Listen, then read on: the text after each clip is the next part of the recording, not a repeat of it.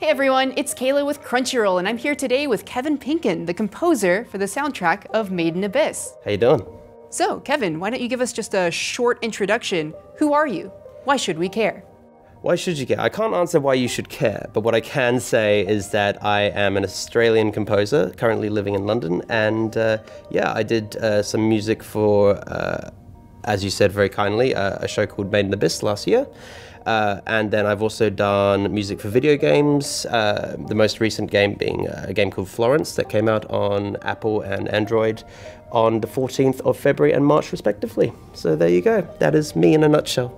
Great, fantastic. Uh, so going back to Made in Abyss, could you describe, I guess, the general creative process you had with coming up with the music? Did you write with specific narrative moments in mind, or was it more general than that? Um, it started off pretty general. Um, we didn't really know exactly what sort of music we wanted to write, and so as a result of that, uh, I was given a, a, wide berth to just sort of um, try some experimental things and try some, you know, things that you wouldn't typically hear um, in uh, sort of uh, in sort of the, the realm of um, anime soundtracks. Um, and so, what was interesting is because I, I, sort of harkened back to my uh, my art school days, I did an undergrad in sort of more experimental music, and uh, that's always stuck with me. And so, um, having the chance to like put some very crazy, like sort of stretched samples of string orchestras or you know distorted vocals or things like that uh, was uh, was super super fun. And they just said, "Yeah, no, this sounds good. just uh, keep on going." So that that's basically how it started, and then we sort of developed it from there.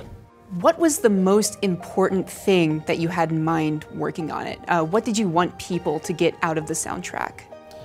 It's a pretty difficult question to ask now that I think about it. Um, I knew that what I wanted to do was um, create a, a very. Um, I wanted to have this quite intense juxtaposition between sort of close sounds and fast sounds and things like that. So I thought very texturally about the soundtrack. Melody and harmony at times sort of fell to the wayside while I was um, sort of trying to figure out like what different sound qualities could I could I do to represent certain visual artifacts, especially in the in the color palette, and sort of like you see how there are a lot of like very far away objects. Uh, I mean, the detail in the background art, um, Osamu Masuyama. I mean, oh my god. So um, there was a lot to work with in terms of depth. Uh, like like physical depth. So um, being able to, um, for example, uh, we recorded in a in a space called uh, the Synchron Stage in Vienna, and uh, this this stage is sort of meant for about 120, 130 people. We only had about 19, 20 people in there, mm. sort of recording, but we were recording all the space around it, so we could sort of actually play with those microphone positions as well to create the sort of juxtaposition between close sounds and far sounds, even if it was just a solo violin. Uh, going into more specifics, I know that one of the songs that was recorded for the soundtrack was written with vocals in a language that doesn't exist. Mm-hmm.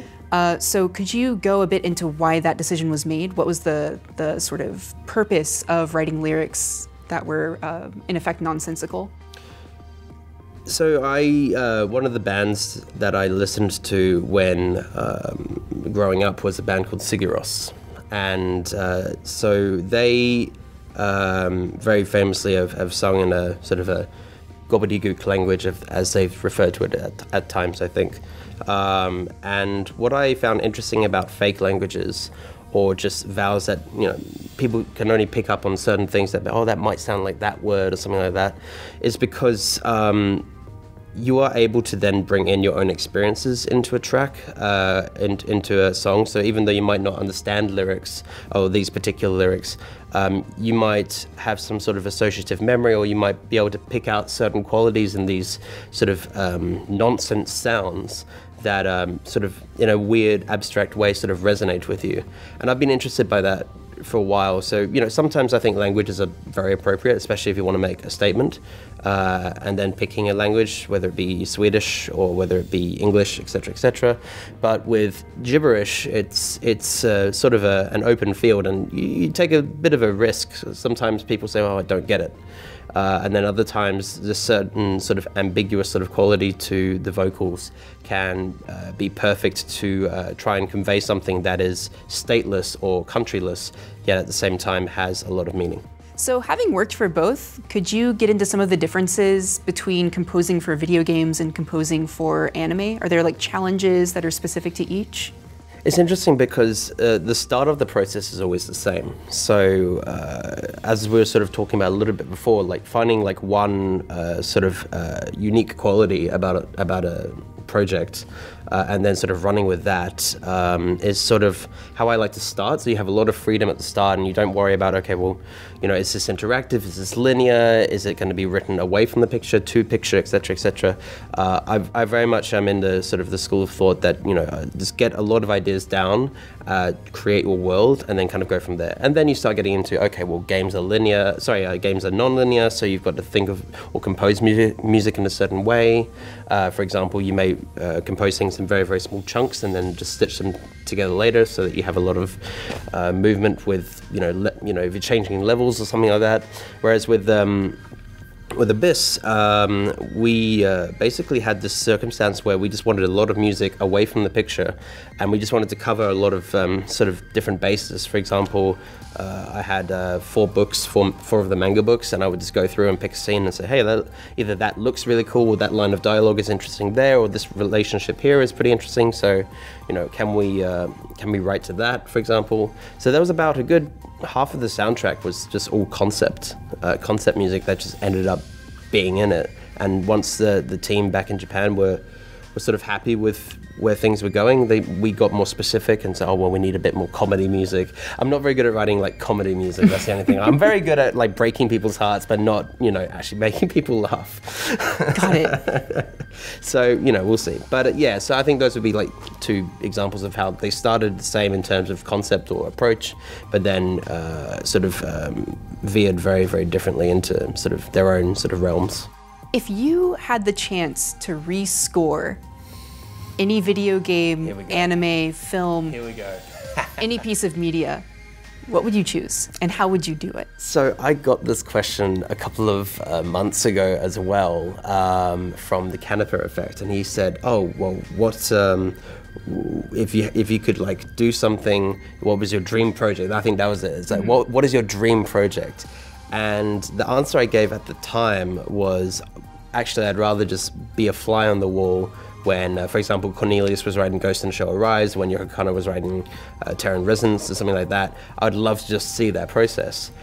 That said, there are definitely some shows that I, I know are in the in the works or, or or that have happened in the past. For example, like I grew up watching Dragon Ball Z, Digimon, and Pokemon. Those are my, and I know that if I ever one day did a Pokemon score, no matter how small a part I played on it, I know I would die a happy man.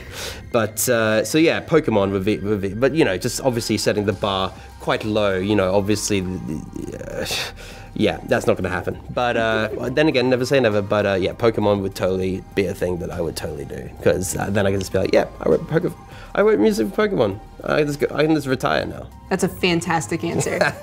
All right, I have a trio of extremely important and incisive questions to answer to Here we go. close out this interview. Okay. The first one is if you were fighting a horde of zombies and you only had access to one weapon, what would you choose and why? Uh, ooh, okay. This is this this is a complicated answer. Um, I would probably go for flamethrower Why? because at least if you're going to die, you can go out in a in a flame of glory. Ah, good answer. All right. Yeah, we'll go with flamethrower. Okay, uh, if you were a shonen manga or anime protagonist or hero, what would your special attack be? Ooh, um, being able to power up for multiple episodes without having to say a line of dialogue. I'm afraid that one's already taken. No, who said that? I will, f- I will, I will fight them. I will totally fight them, um, and then nothing will happen because we'll just be screaming for You'll just be powering up forever. Okay, well, curse you, whoever took my first answer. But then I guess it. I guess the second would be. Uh, you know what? Uh, the, the ability to teleport. I'll just I'll just go the ability to teleport, so I can just get out of the situation. Yeah, that would that would be like that would be my second answer, which is not as cool as the first one, but I guess I uh, I I've uh, I've been beaten. I've been Well. beaten. Oh well, Um, all right, final question. bring it on. if you could fist fight any classical music composer, who would you fight? Ooh, ooh, that is, uh, that is. Okay, can I ask a, a quick context question? Oh, sure. Um, why are we fighting? Are we fighting for like? Are we um, are we angry at each other? Do we hate each other, or is it just like a a fun sparring match? Um, I will answer only with for glory. For glory. Okay. Well, I am going to say uh, he's not a classical composer, but there is a little tie-in. Um, Colin Stetson does um, an album called "I Do This for Glory," and so I will meet him there, and I will say, "I will challenge you for your glory." So there we go. Well, there, we go. there we go. Thank you so much for coming Not in at and doing an. Not interview with all. us. It's been a huge pleasure. My absolute pleasure. It was uh, it was really really fun to be here, and uh, I've, I've been watching Crunchyroll content for a while, and it's always just really really good to put some uh, faces to the names and just uh, be part of be part of an industry that I, I really really really care about and uh, I'm very passionate about. So thank you for inviting me. Absolutely. And thank you all for watching. See ya. See you later.